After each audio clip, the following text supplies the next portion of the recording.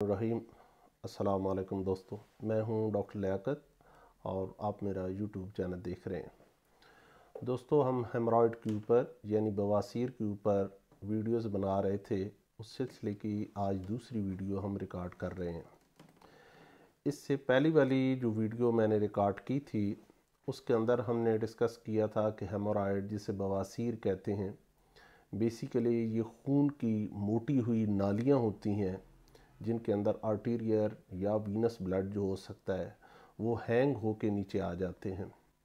پھر ہم نے اس کی type internal external thrombosed strangulated یہ ڈسکس کیے۔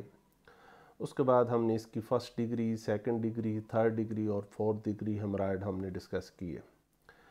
اس کے بعد ہم نے اس کے جو امپورٹنٹ کازز ہیں، جس کے اندر سب سے جو امپورٹنٹ ہے، وہ ہے آپ کے پیٹ کے اندر پریشر کا، انٹرا ابڈومنل پریشر کا بڑھ جانا۔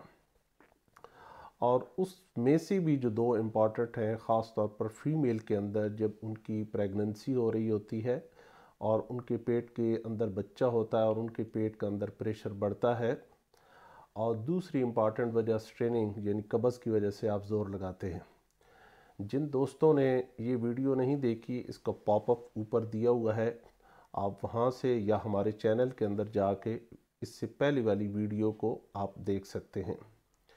دوستو، آج جو ہمارا ٹاپک انڈر ڈسکشن ہوگا، وہ ہوگا کہ جن لوگوں کو ہیمورائڈ پائل یا بواسیر ہوتی ہیں، ان کے اندر کون کون سی علامات ہوتے ہیں۔ میجارٹی آف دا پیشنٹس جن کے اندر فرسٹ یا سیکنڈ ڈگری ہیمورائڈ ہوں یعنی وہ باہر نہ آئیں، وہ اندر موجود ہوں، تو اکثر سے تو ان کو کوئی تکلیف ہوتی نہیں ہے، وہ اے سمٹومیٹک ہوتے ہیں۔ کبھی کبھار جب ان کو سخت پخانہ آئے تو پخانے کے اوپر جو ہے، وہ خون لگا ہوا آتا ہے۔ پخانے کے ساتھ مکس ہوا ہوا نہیں آتا۔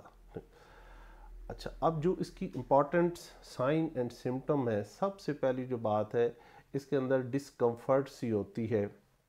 پیشنٹ کو بہت عجیب سا لگتا ہے کہ میرے بڑے پخانے والی جگہ پہ مجھے تکلیف سی ہو رہی ہے، کوئی ہیوینس سی اس کو محسوس ہوتی ہے۔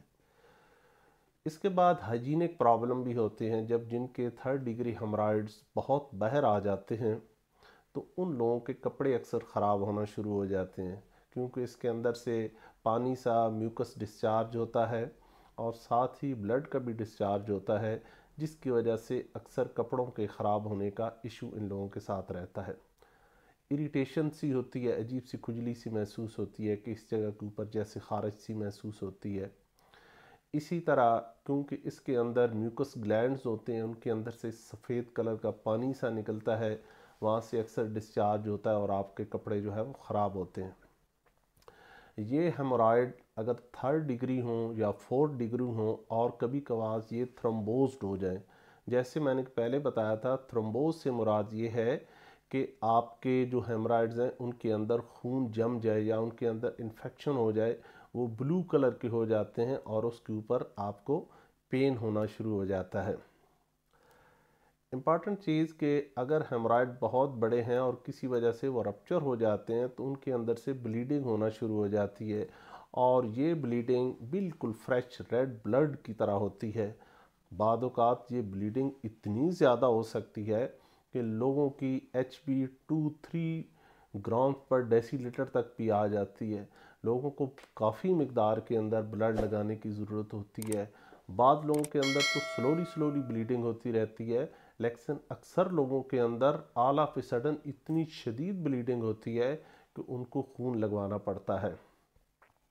اسی طرح کچھ لوگ آ کے یہ کمپلینٹ کرتے ہیں کہ ہمیں ہمارے بڑے پہانے کے ساتھ ایک گولا سا، ایک میس سا اور ایک سویلنگ سی جو ہے وہ محسوس ہو رہی ہے۔ اور اگر ہیمرائڈ تھرڈ یا فورتھ ڈگری گریڈ کے بہت بڑے ہو جائیں اور ان کی کیئر نہ کی جائے، تو ایون اس حد تک ہوتا ہے کہ آپ کی اینل انکانٹیننس یعنی آپ کے پہانے والی جگہ کا جو کنٹرول ہے وہ بھی آپ کا ختم ہو جاتا ہے۔ اب دوستو، اس کی ڈائگنوسس کیسے ہوتی ہے؟ دیکھیں، اکثر میل اور فیمیل آتے ہیں ہمارے پاس۔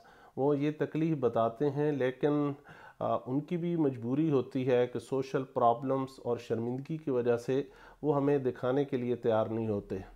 دیکھیں، خالی صرف بتانے سے تو اس کی ڈائگنوسس نہیں ہوتی۔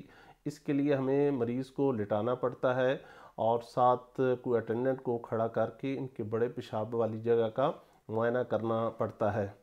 اس کے لیے مریض کی کنسنٹ یعنی اجازت بہت ضروری ہے کیونکہ یہ پیشنٹ کا پرائیویٹ پارٹ ہوتے ہیں اور بغیر اس کی مرضی کے ہم اس کو چیک نہیں کر سکتے۔ اور اس کی ڈائگنوسس بغیر چیک کیے آپ نہیں بتا سکتے۔ ایگزامینیشن کے اندر سب سے پہلے ہم باہر سے معائنہ کرتے ہیں، دیکھتے ہیں کہ اگر بہت بڑے ہیمرائڈز ہیں تو وہ بالکل سامنے باہر پڑے ہوں گے۔ اور اگر اندر والے ہیں تو وہ پیشوں کو کہا جاتا ہے کہ تھوڑا سا زور لگائیں سٹرین کریں۔ تو وہ سٹرین کرنے سے باہر آ جاتے ہیں۔ سملرلی اگر وہ ایکسٹرنل ہیمرائڈ ہیں اور وہ تھرمبوز ڈوئی ہوئی ہیں، ان کے اندر بلڈ جمع ہوا ہے، تو ان کے کلر سے اور کئی دفعہ ان کے اوپر السر بنا ہوتا ہے۔ اکثر ہیمرائڈ یہ بہت امپارٹنٹ پوائنٹ بتانے لگا ہوں۔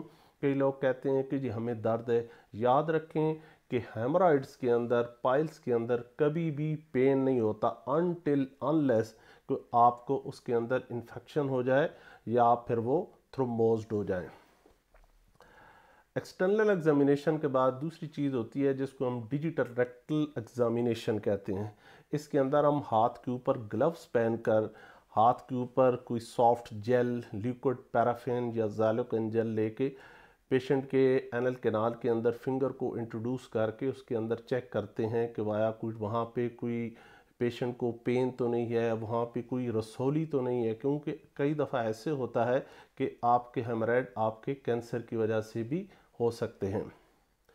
اس کے بعد جو اگلی موڈیلٹی ہے، وہ ہے پروکٹوسکوپی پروکٹوسکوپی ایک لمبا سا آلہ ہے، جس کی تصویر آپ اپنے سامنے دیکھ سکتے ہیں۔ یہ سٹیل کی بھی ہوتی ہے اور پلاسٹک کی بھی بنی ہوتی ہے اور اس کی لمبائی تقریباً پانچ انچز ہوتی ہے۔ یہ ہم پیشنٹ کی اینل کنال کے اندر ڈال کے اور ٹار کے ساتھ چیک کرتے ہیں کہ آیا اندر ہیمرائڈ کس ڈگری کے ہیں اور وہ السریٹڈ ہیں۔ کیونکہ جو فرسٹ اور سیکنڈ ڈگری ہیمرائڈ ہوتے ہیں، وہ صرف اندر معائنہ کرنے سے پتہ چلتے ہیں، صرف بتانے سے ان کا پتہ نہیں چلتا۔ اس کے بعد اگر آپ کو بلیڈنگ ہو رہی ہے لیکن بلیڈنگ کا کوئی اور وجہ نہیں بن رہی، تو اس کو ڈائگنوز کرنے کے لیے جو آپ کے اپر لیور کے اوپر کوئی ساتھ کینسر وغیرہ چیز ہے، تو اس کے لیے ہم سگمائڈوسکوپ استعمال کرتے ہیں۔ جس کی لمبائی سکسٹین سینٹی میٹر ہوتی ہے اور اگر لین کو بہت اوپر ہو، کیونکہ ہمراڈ تو نیچے ہوتے ہیں، لیکن اس کے ساتھ اسوسیٹڈ چیزیں اگر ہم دیکھنا چاہیں کہ ہمراڈ کیوں بنے، کوئی سیکنڈری ساتھ کینسر وغیرہ تو نہیں ہے، تو اس کے لیے کلونوسکوپی کی جاتی ہے۔ جو ایک فلیکسیبل راڈ کی طرح ہوتی ہے پلاسٹک کی ہوتی ہے اور اس کے آگے کیمرہ لگا ہوتا ہے اور وہ تقریباً 1.35 میٹر کی ہوتی ہے۔ دوستو، یہ تو ہو گئی آپ کی ڈائگنوسس اب ذہن کے اندر رکھنا چاہیے کہ ڈیفرنشیل ڈائگنوسس کیا ڈیفرنشیل ڈائگنوسس سے مراد یہ ہوتا ہے کچھ اور بیماریاں ایسی ہیں جن بیماریوں کی وجہ سے بلڈ آ سکتا ہے اور وہ بھی ایسے لگتی ہیں کہ جیسے کسی پیشنٹ کو ہیمرائڈ ہے، حالانکہ ہیمرائڈ ان کو یا بواسیر نہیں ہوتی۔ ان کے اندر امپورٹنٹ جو چیزیں ہیں وہ اینل فیسولا ہے پیری اینل ایپسیسز ہیں اینل فشر ہیں، یہ چیزیں ہم بعد میں ڈسکس کریں گے، یہ علادہ چیزیں ہیں۔